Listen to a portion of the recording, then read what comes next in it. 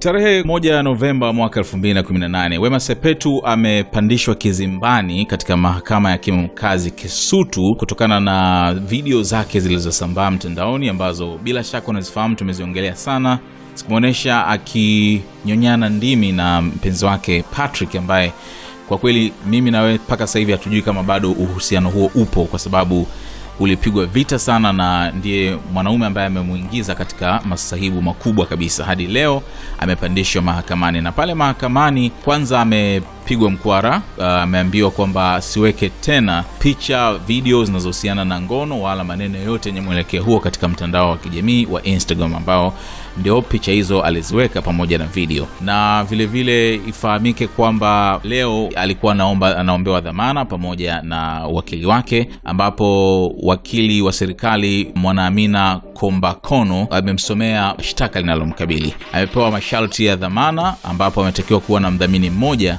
ambaye atasaini bondi ya shilingi milioni kumi. Kabla ya kupewa dhamana hiyo wakili huyo wa serikali aliomba mahakama kumpatia masharti magumu ya dhamana wema ili iwe kama fundisho kwa watu wengine ambao ni mastaa ambao wana wafuasi wengi lakini pia ambao wamekuwa wakifanya vitendo ambavyo sivyo kwa upande wake wakili wa wema ambaye anaitwa rubens mwanza aliomba mteja wake apewa dhamana ya masharti nafuu kwa kuwa ni haki yake. Alisomewa shtaka moja la kuchapisha video ya ngono kupitia mtandao wake wa instagram ambapo kosa hilo alilifanya oktoba 15 mwaka 2018 katika sehemu tofauti jijini dar es salaam. Baada ya kusikiliza hoja za uh, pande hizo mbili hakimu kasonde alimtaka wema kuwa na mdhamini mmoja kama ambavyo tumesema ambaye anatakiwa atoe bondi ya shilingi milioni kumi. Wema alifika pale akiwa ameongozana na petiman ambaye ni mtu wake wa karibu pamoja na mama yake mzazi. Miongoni mwa watu waliokuwepo hapo ni wana sns uh, chris favors pamoja na esco bila kusahau uh, videografa wetu simon ambaye pia leo kwa mara ya kwanza tamsikia akituelezea machanianze na yeye kwanza simon kwa sababu yeye ndo alikuwa anachukua video au sio yeah. so hali ilikuwaje pale mahakamani? Na fahamu umechukua hiyo video wakati anatoka toka mahakamani. Situation ilikuwaje? Hebu tusafirishe mpaka pale kisutu. Ah, kwa hali ambavyo ilikuwepo siku ya leo kwanza kulikuwa na umati mkubwa wa watu ambao walikuwa wakimsubiri wema sepetu kwa hamu na watu wengi walikuwa wakitaka kumwona wema akitoka ataongea nini na ndo ilikuwa dhumuni kubwa la watu wengi kusikia wema atatamka nini katika siku ya leo. Lakini baada ya wema kutoka anahisi nahisi hakuhitaji kuongea chochote kwa sababu nahisi mwenyewe alikuwa amejaa huzuni kwa sababu ukimwangalia moja kwa moja alikuwa anaonyesha akiwa na sura ya huzuni sana pamoja na watu wake wa karibu jambo ambalo lilipelekea wema kuondoka kupanda gari na kuondoka moja kwa moja eneo la tukio jambo ambalo lilisababisha watu wengi sana kubaki na mambo mengi sana kichwani ukiwa unajiuliza je ni kipi ambacho wema kwa wakati huu anapitia au ni wakati mgumu sana wema anapitia kwa sasa hivi? Kwa sababu ukiangalia moja kwa moja mama yake alikuwa amejawa na huzuni watu wake wa karibu petimani ambaye alikuwepo uh, pamoja na watu wengine wengi ambao walikuwepo katika eneo la tukio pamoja na ndugu zangu wakina Chris Favors na wenyewe waliona hali halisi jinsi ilivyokuwa wanaweza kuchangia mawili matatu katika eneo la tukio jinsi mambo yalivyokuwa yakiendelea. Chris uh, sura ya wema alikuwa amevaa miwani sio? Lakini yeah. ungeweza kuona kwa tu namna alivyokuwa. Hebu tujengee picha na wewe ulimwonaje sepenga okay kwanza mi ni, ni, nianze nakumbuka tunakumbuka wakati zimevuja zile video wema alitoka na kuomba radhi mbele vyombo vya habari na alionekana siku ile analia watu wengi wakasema okay unaigiza nini hauko serious. Yeah. ila kwa mtu ambaye kwa sisi ambao tulikuwa pale leo siku ya leo nadhani tumeshuhudia hali halisi na sio wema tu kama alivyozungumza simon mpaka mama yake petimani wote unakuta kabisa ni watu ambao hawana amani. Na ukiacha tu maswala ya huzuni kitu ambacho nimekirealize leo hii ni moja ya kesi naweza kusema wema ameziendesha. Siwezi kusema sijui kimaskini naweza kusema hivyo kuliko kesi zake zingine zote ambazo zimewahi kufanyika pale kisutu kwa sababu tumezoea alikuwa akienda pale mawakili wake nao walikuwa ni watu wazito akina kibatala unakuta. Sasa hivi unakuta ametajwa wakili sema kama ni wakili mbaya ni wakili mzuri lakini unakuta hadi wale mawakili wakubwa wamejiingua wamekaa pembeni wameshindwa kusapoti hichi ambacho wema amekifanya. Of course ni kitu cha aibu ye mwenyewe nadhani akitoka akicheki zile cameras zilizokuwa zinamchukua siku ya leo ni mtu kabisa unaona kabisa hayuko comfortable na anafikiri nafikiri anajutia ambacho amekifanya. Plus mama yake mama yake ndo aliongea kabisa sijisikii kuzungumza. Yeah. na ukicheki sura yake kweli hali yake sio nzuri. No, no, no, siongei chochote. Siongei chochote. huwezi kutoka huko eti kama na yeah. haya huyo ni chris Favors. Uh, esco pia na wewe pia tukusikie. Wewe ulishut kwa kikamera uh, Yeah, yeah, simu sio? nilitumia simu. Yeah, yeah. nilitumia simu. Uh, of course uh, simon ameongea lakini pia Chris amegusia kuhusu hali ambayo alikuwa nao Wema Sepetu lakini pia na watu wake wa karibu uh, kama Petiman wa kuache.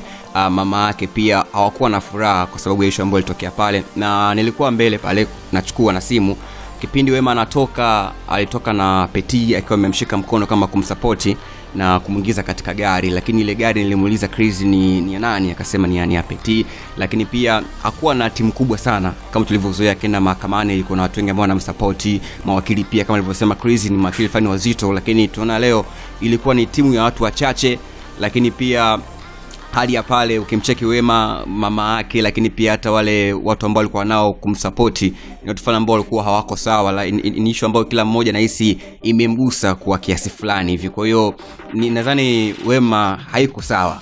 Ukimwangalia hakuwa sawa kabisa. So wema peke yake mpaka mama yake na watu wengine ambao walikuwa pale kumsapoti okay esco labda ni- cha kukuongezea hapo unavyozungumzia kutokuwa sawa kwa mamake wema. Nakumbuka uliona pale simon mdogo nadhani ulikuwa unamfuata kutoka kupata ile video kama yeah. ulivyokuwa unachukua. Lakini unaweza kujua jisikia nikachanganyikiwa kwa sababu mpaka mwisho siku hakufahamu ni usafiri gani alikuja nao. Kwa sababu gani?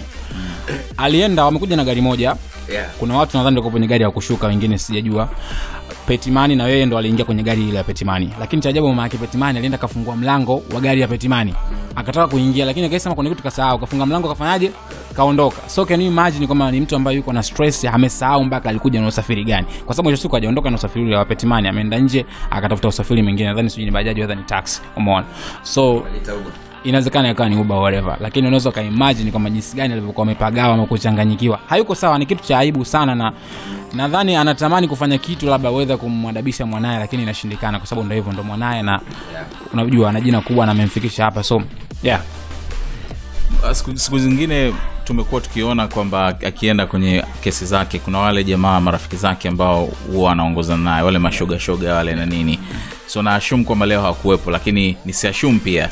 Ilikuwaje leo? Kulikuwa kuna watu wa aina hiyo pembeni yake leo? Katika eneo la tukio wema alionekana kuwa mwenyewe pamoja na petimani. Wale watu ambao siku zote tumezoea alikuwa ipo nao karibu kwa siku ya leo kwa sema ukweli hawakuwepo na hawakuonyesha sapoti yoyote kabisa kwa masepetu kwa sababu kama tunavyoelewa bado pia kuna msako mwingine une, unaendelea. Kwa hiyo nadhani pia na wenyewe kwa namna moja au nyingine walikuwa katika hali pia ya kujihami. Naweza nikasema hivyo okay, labda nikujazia hapo simoni. Uh, nilisema mwanzo hii ndo kesi ya kwanza wema anaendesha kimasikini. Ushaelewa bwana? Tushaona kesi nyingi kama ndivyozungumza mwanzo mawakili na nini lakini vile vile timu wadi wale timu wema unajua walikuwa wanakuja mahakamani wanasubiri unajua? Lakini siku ya leo imagine watu watatu ndo wamekuja mahakamani mama ake wema petimani pamoja na wema mwenyewe. Sasa kwenye imagine watu wote sasa hivi naona unajua hata mtu hata kama ni timu wema kuna vitu vya kuona aibu. Kwa kilichotokea yeah. unavyoenda wedha una bango sijui whatever, free wema whatever au msaidie sijui wema na nini lazima mwenye nafsi ikusute kwa, kwa, kwa kuona kama unatetea vitu vya kijinga. So nadhani sasa watu wote nao wamejika wamekaa pembeni wamemwachia msala aende nao yeye kama wema. So walikuwa watu watatu tu leo mahakamani. Esko nadhani uh, hiyo ni kwa sababu ya kwamba mashabiki wanaona aibu uh, kumsupport tena sasa hivi. Ya inawezekana lakini pia unajua kama unakumbuka una juskati hapa kuna baadhi ya watu kama eshabuet alipost akasema hawa- ni hawahurumii watu kama wale mashabiki zake ambao wana- wanamfuatilia kwenye mitandao lakini pia ni mashabiki wakubwa wa wema. Kwa hiyo kuna watu kidogo imewa- imewasikitisha lakini pia mtu yani mtu hawezi kuja kutoa sapoti kwa kama hii kwa sababu kila mtu ukimtazama ameguswa na ishu ya wema yani hajapendezwa. Kwa hiyo kuna baadhi ya watu tuseme inakuwa ngumu kuja kutoa sapoti kwa wema. Kama vile umemwacha tumuone itakuwaje mona tumuone atafanya nini.